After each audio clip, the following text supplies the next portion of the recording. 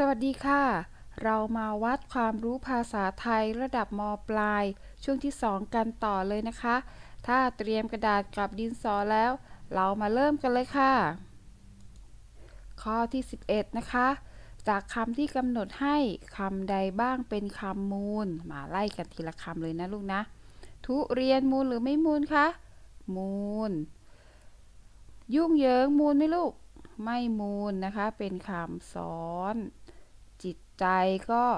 ไม่มูลนะคะ เป็นคำซ้อน ผู้ใหญ่ก็มูลหรือไม่มูล ไม่มูลนะคะ เป็นคำประสม ของเล่นก็เป็นค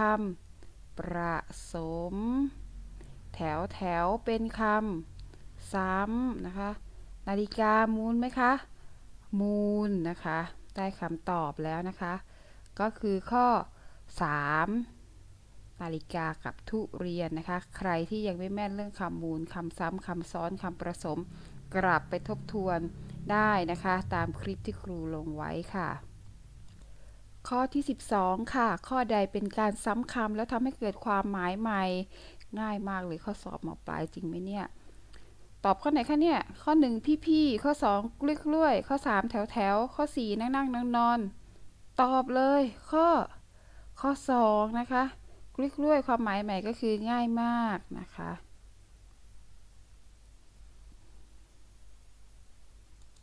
ข้อ 13 ค่ะคำไทยแบ่งเป็นกี่ชนิด โอ้ยง่ายอีกแล้ว 1 5 ชนิด 2 4 ชนิด 3 9 ชนิด 4 7 ชนิดตอบเลยไม่ต้องคิด 7 ชนิดค่ะ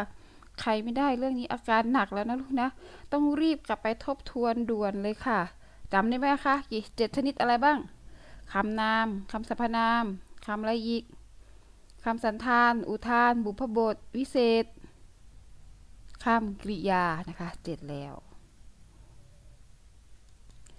ข้อ 14 ค่ะ เอกลักษณ์ของชาติไทยคือข้อใด 1. รักสงบ 2. ไม่แบ่งชั้นวรรณะ 3. เสรีภาพทางศาสนา ครูเอาอะไรมาสอบหนูดิทำไมมันง่ายอย่างนี้ตอบเลยนะคะ ไม่ต้องคิดเลยข้อนี้ ข้อ 4 ถูกทุกข้อค่ะ ข้อ 15 ข้อใดใช้ทรงไม่ถูกต้อง อะข้อนี้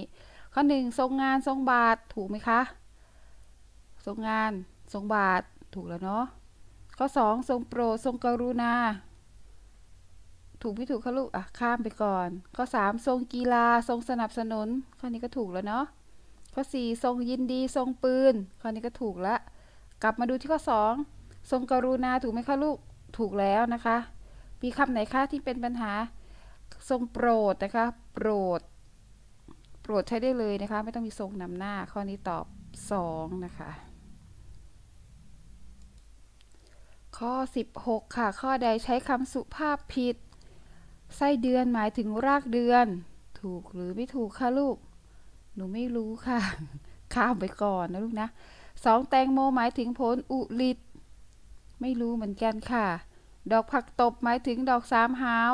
หนูเพิ่งเคยได้ยินวันนี้แหละค่ะ ข้อ 4 ขนมขี้หนูหมายถึงขนมทราย อ่าโอเคนะครูช่วยนะ ข้อ 4 นี่ก็ถูกแล้วนะ ข้อ 3 ก็ถูกแล้ว ข้อ 4 ก็ถูกแล้ว มีข้อ 1 นะคะลูกนะ ไส้เดือนไส้เดือนก็คือ รากดินนะลูกนะ รากดินไม่ใช่รากเดือน รากดินนะคะ ข้อ 17 ข้อใดต่างจากพวก โอ้เย มาแล้วคำถามที่ค่อยสมศักดิ์ศรีม.ปลายหน่อยอ่ามาดูนะคะคำที่หนึ่งศูนย์ทรพจน์สองศักดานุภาพสามราชินูปถัมภ์สี่หัตถาจารย์นะคะคำพวกนี้เป็นคำอันนี้นะคะ เป็นสมาร์ทและสนธินะคะ การสมาร์ทกับสนธิถ้าบอกว่าสมาร์ทสนธินี่ให้ให้เรารู้ไว้เลยว่าเป็นการเอา คำบาลีกับสันสกฤตมารวมกันเพื่อเกิดความหมายใหม่ แต่ถ้าคำที่เอามารวมกันให้เกิดความหมายใหม่ ที่ไม่ใช่สมาร์ทกับสนธิเราเรียกว่าการผสมคำนะคะ อันนี้ก็คือเอาบาลีกับสันสกฤตมารวมกัน ก็ผสมแบบสมาร์ทผสมแบบสนธินะคะแล้วดูข้อหนึ่งนะคะสุนทรพจน์ อันนี้เป็นเป็นอะไรคะลูกเป็นสมาร์ทหรือสนธิศูนทรพจน์เป็นสมาร์ทนะคะศักดานุภาพนี่เป็นสนธิศักบวกกับอานุภาพนะคะ ก็เป็นศักดานุภาพ ราชินูปถัมภ์ก็ราชินีบวกกับอุปถัมภ์นะคะ ก็กลายเป็นราชินูปถัมภ์นะคะ ข้อสุดท้าย หัตถาจารย์ก็คือคำว่า หัตถีบวกกับอาจารย์นะคะ ก็คือหัตถาจารย์ อันนี้เป็นสนธิสนธิสนธินะคะ สมาธิมีข้อเดียวคณะที่ต่างจากพวกก็คือข้อที่1นนะคะสุนทรพจน์ ถ้ายังไม่แม่นเรื่องสมาธิกับสนธิก็กลับไปทบทวนเรื่องสมาธิกับสนธิได้นะคะ ข้อที่ 18 ข้อใดมีจำนวนพยางค์มากที่สุด โอ้ยคนละอารมณ์กับข้อเมื่อกี้เลยเนาะลูกเนาะอันนี้ก็ง่ายสุดๆ ข้อ 1 ปัดชิมลิคิดกี่พยางค์คะลูก 4 พยางค์ประชาธิปไตย 5 พยางค์ชนละประธาน 4 พยางค์ คณิตศาสตร์4พยางตอบ2นะคะ ประชาธิปไตย ข้อที่ 19 ข้อใดเป็นปัจจัยที่กำหนดระดับของภาษา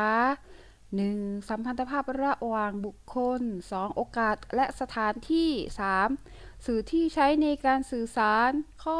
4. ถูกทุกข้อข้อข้อข้อ ข้อไหนคะลูก หนูไม่คิดเลยค่ะ หนูเอข้อ 4 อะ ถูกนะคะลูก ข้อ 20 ข้อสุดท้ายของช่วงที่ 2 แล้วนะคะ ทักษะใดใช้มากที่สุดในชีวิตประจำวัน 1. ทักษะการอ่าน 2. ทักษะการฟัง 3. ทักษะการพูด 4. ทักษะการเขียน ตอบข้อไหนคะข้อไหนคะลูกฟังพูดอ่านเขียนอันไหนที่เราใช้มากที่สุดในแต่ละวัน การฟังนะคะลูกนะมีใครถูกทุกข้อบ้างอ๋อหนูผิดเรื่องข้อสมาธิกับสนธิใช่ไหมคะ สูงสุด 9 คะแนน เก่งนะคะ วันนี้แล้วเจอกันใหม่นะคะ ง่ายไหม แล้วเจอกันใหม่ในคลิปต่อไปนะคะ ขอบคุณที่รับชมนะคะ ขอให้นักเรียนทุกคนโชคดีมีชัยในการสอบทุกๆคนค่ะ